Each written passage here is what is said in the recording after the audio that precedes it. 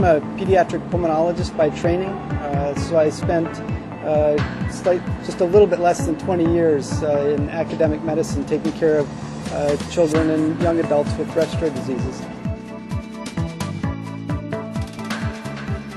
Here at NIBR, I have two major roles. One is to work with the scientists who are working in the lab to develop new compounds to treat diseases and help them decide uh, what diseases we should target. And my other major role here at, at NIBR is to uh, take those new compounds that are coming out of the lab and study them uh, in people, particularly to do the first studies in people, the ones that are primarily designed to determine the safety of the compounds, uh, but that also should give us an idea of whether or not they're going to work. One of the differences working uh, at Novartis Institutes for Biomedical Research compared to academia uh, is that there's the sense that everybody's really pulling for the same thing.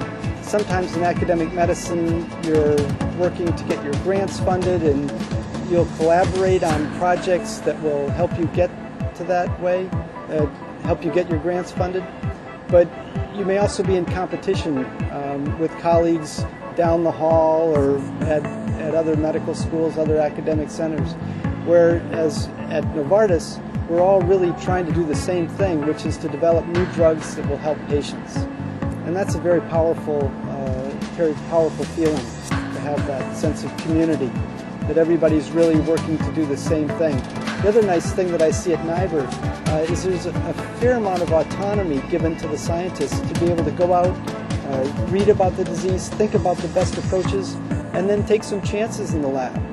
Uh, try and find new ways of, of addressing it, try and find new ways of using compounds developing good models of disease so that we can study it. Uh, and then really applying that and, and not being beholden to a bottom line